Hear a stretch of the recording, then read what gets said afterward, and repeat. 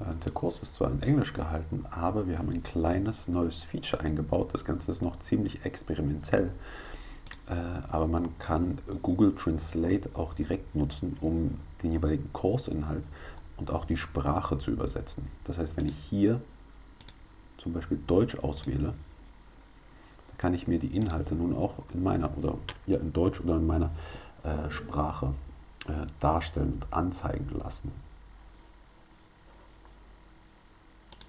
Mit LayerScript haben wir versucht, ein erweitertes Markdown-Format zu implementieren, mit dem jeder Online-Kurse erstellen, teilen, anpassen, übersetzen oder korrigieren kann, ohne Webentwickler sein zu müssen.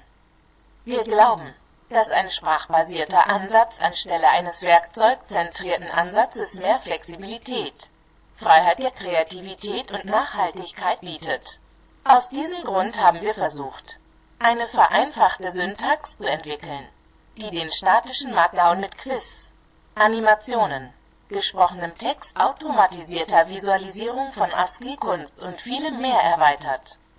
Alles wurde um Markdown herumgewebt so dass der Inhalt weiterhin mit jedem Editor oder Markdown-Interpreter gelesen und interpretiert werden kann. Es gibt einige Probleme, die wir derzeit bei der Schaffung von Open Education Resources Ohr sehen. Eine davon ist die Isolation. DH-Menschen, die Inhalte erstellen möchten, sind selten über die angewandten Technologien verbunden sondern durch Plattformen, Authoring-Tools und verwendete Kerntechnologien, Programmiersprachen, getrennt. Darüber hinaus ist es nicht möglich, einfach eine Bildungswebsite, ein Bildungsprojekt zu greifen und deren Inhalt für ein anderes Publikum anzupassen. Darüber hinaus scheint es für Menschen ohne technischen Hintergrund nahezu unmöglich zu sein, einfach einen kleinen Kurs einzurichten. Daher blieben sie bei Word. PowerPoint und PDF, da sie eine einfache Fortsetzung der statischen Formate bieten, die vor dem Computerzeitalter verwendet wurden. Wenn ich Inhalte für den Computer veröffentlichen möchte, möchte ich, dass mein Publikum eintaucht, experimentiert, simuliert mit den Inhalten spielt. Aber nicht nur lesen. Stellen Sie sich eine Welt vor, in der jeder kostenlos den gleichen Zugang zu hochwertigen Bildungsinhalten hat. Stellen Sie sich vor, alle Arten von Schulbüchern, technischer oder wissenschaftlicher Literatur könnten zu offenen Projekten und interaktiver werden, wenn Lehrer und Schüler zusammenarbeiten. Alles, was benötigt wird, ist ein einfacher Texteditor und ein Webbrowser. Wie bereits erwähnt, ist alles, was Sie für die Arbeit mit LeaScript benötigen, ein Texteditor. Es kann jedoch nützlich sein, eines der folgenden Tools anzuwenden. Zumindest wenden wir sie an, um das Ergebnis einer Änderung innerhalb des Kursdokuments sofort zu sehen. Sie werden sehen, dass sich die Entwicklung von Online-Kursen beschleunigen wird. Insbesondere wenn keine komplexen Punkt- und Klicksequenzen gespeichert werden müssen.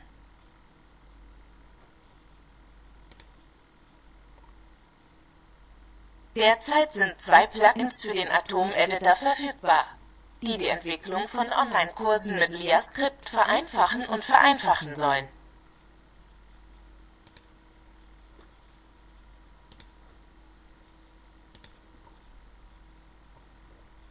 Wenn Sie an einen anderen Editor gewöhnt sind, können Sie einen LeaScript-Entwicklungsserver auch lokal starten. Es funktioniert wie das Plugin für Atom und aktualisiert Ihren Kurs in Ihrem Browser bei jedem Speichern. Dies kann jedoch auch zur Überwachung mehrerer Projekte verwendet werden. Sie können es auch zu Testzwecken verwenden, als würden Sie Ihre Projekte bereitstellen.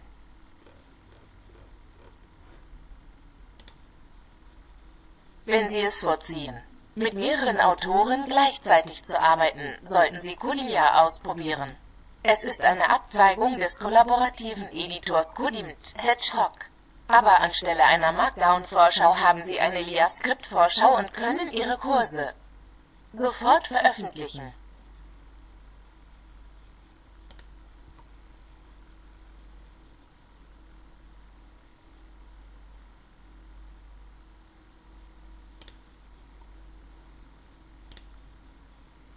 Der einfachste Weg, ein LIA-Skript in eine andere Website oder ein Learning Management System LMS wie Moodle, Elias oder Opal zu importieren, ist der Import einer externen Website oder, wenn möglich, über eine iFrame.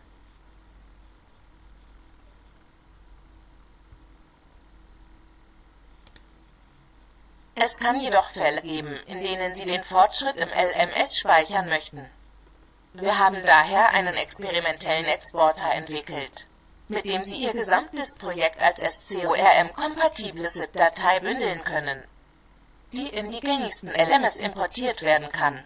Andere Formate als SCORM können ebenfalls hinzugefügt werden. Schreiben Sie uns einfach eine E-Mail oder erstellen Sie ein Problem, wenn Sie ein anderes benötigen. Wenn Sie auf Ihrer persönlichen Website oder in Ihrem Blog auf Ihre eigenen Kurse oder auf ausländische Kurse verweisen möchten, können Sie unsere Vorschau-Web-Komponente verwenden. Dadurch werden Vorschaukarten erstellt, die kleinseitig aktualisiert werden, so dass nicht alle Informationen manuell aktualisiert werden müssen, wenn sich der Kurs ändert. Fügen Sie einfach das hinzu. Skript. Tag wie im Code-Snippet dargestellt und über das Tag mit Ihren Kursen verknüpft. Preview ja.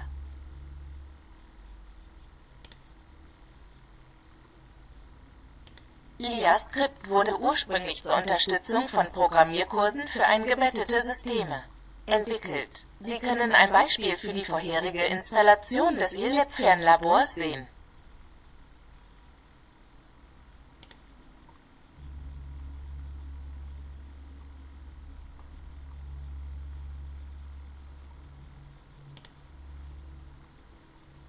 Jetzt ist es umgekehrt. Unser Hauptaugenmerk liegt auf der Entwicklung der Markup-Sprache.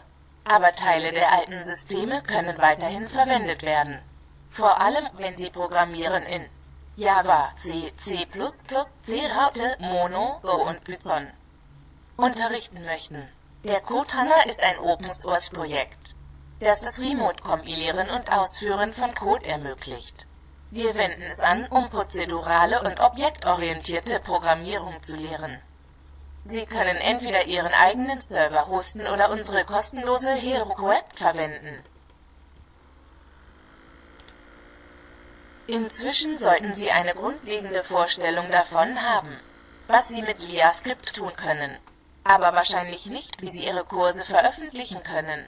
Der beste Weg ist GitHub zu verwenden.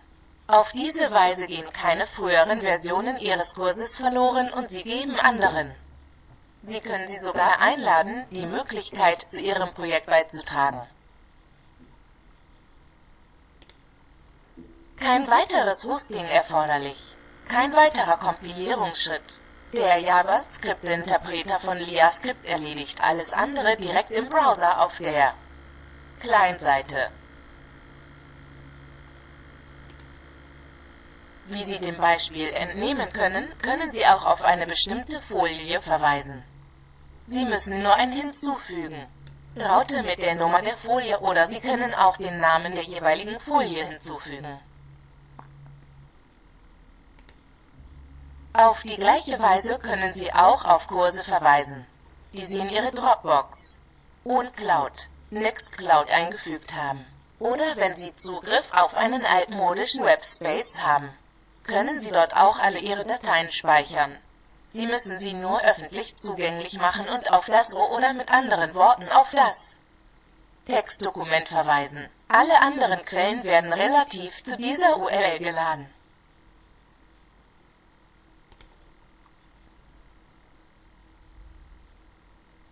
Wir haben jedoch keine Ahnung, wer LiaScript anderswo verwendet. Daher ist es möglicherweise schwierig, einige Ressourcen online zu finden. Von Zeit zu Zeit übersetzen wir offene Bücher in LeaScript und machen sie interaktiver.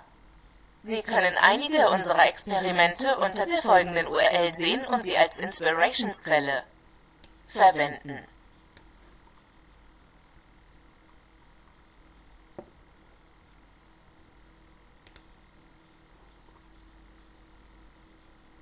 Wenn Sie Cotana ausprobiert haben, haben Sie wahrscheinlich bemerkt, dass Sie Funktionen aus verschiedenen Kursen einfach mit Hilfe des Schlüsselworts wiederverwenden können.